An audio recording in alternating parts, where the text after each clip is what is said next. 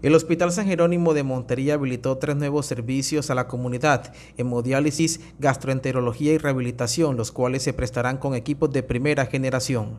Y esto es un ejemplo de que las cosas sí se pueden hacer cuando nos unimos todos.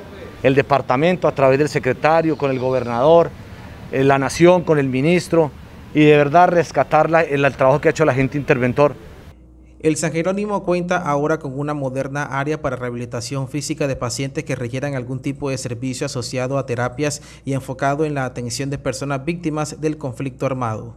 Hoy estamos abriendo el servicio de gastroenterología, el servicio de rehabilitación física y el servicio de hemodiálisis renal.